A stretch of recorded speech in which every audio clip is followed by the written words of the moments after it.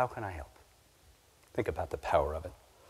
At the center of it is I, and I brings to mind two things identity. Who am I? What am I about? What do I have to offer? And secondly, agency. What am I here for? What is my role? Having I at the center of a slogan is not a bad thing. Help, of course, seems one way, doesn't it? I'm assisting you. But we all know a truth about that word it's quite mutual. The premise of the question, how can I help, suggests you then asking me the same question.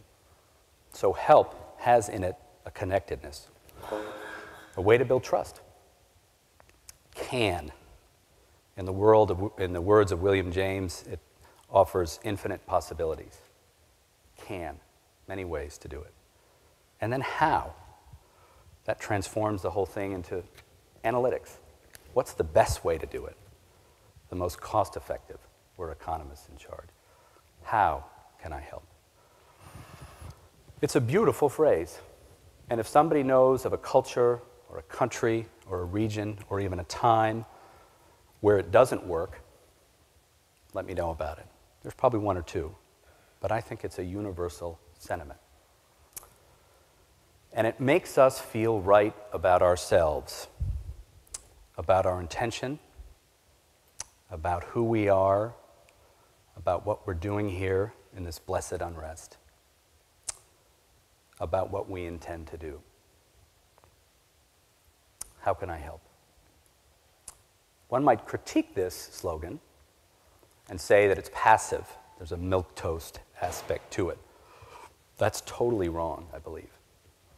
I think how can I help in many ways is a very aggressive, demanding question. Because not only does it ask you to ask the same, I expect you to ask me, how can I help? But it also works at a higher level, one that was suggested by Professor Barber. We should demand that our leaders are asking, how can I help? Our political leaders, our business leaders, our academic leaders, name the institution. The professor's right. These are collective goods problems, public goods. And these institutions, at their core, are designed to help. Not in every way. Markets can do a little bit of that, but not all of it. But in essence, at their best, our institutions are designed to help. And I can imagine no better way in the setting where I live now, at a Vermont town meeting, at a state, at a county fair. I can imagine no better way to engage a politician than to walk up to her and say, Hey, how are you helping? Because I'm certainly helping my community. And notice, think about the work you're doing now, the work of 350.org. Many of you saw the announcement yesterday. There'll be a day of work on 10, 10, 10. The transition communities, the great work of David. Look around you. These are people who are asking, How can I help? Not in a milquetoast way, but in a forceful, aggressive, demanding way. The one hand that brings in, but the one hand that opposes those who don't have that sentiment in their own words and actions. How can I help?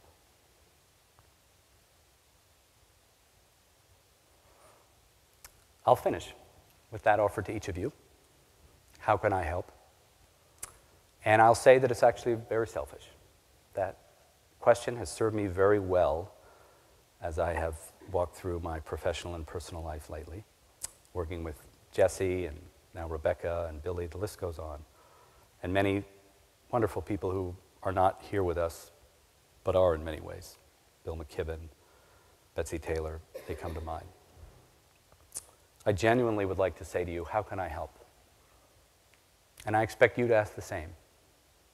But most importantly, I hope you'll consider this as a candidate for our slogan. Tell me what's wrong with it. Let's play with it. And I'll note in closing that it, le- it leads to a related question, in some ways the same question, but a question of equal, if not more, power. How can we help?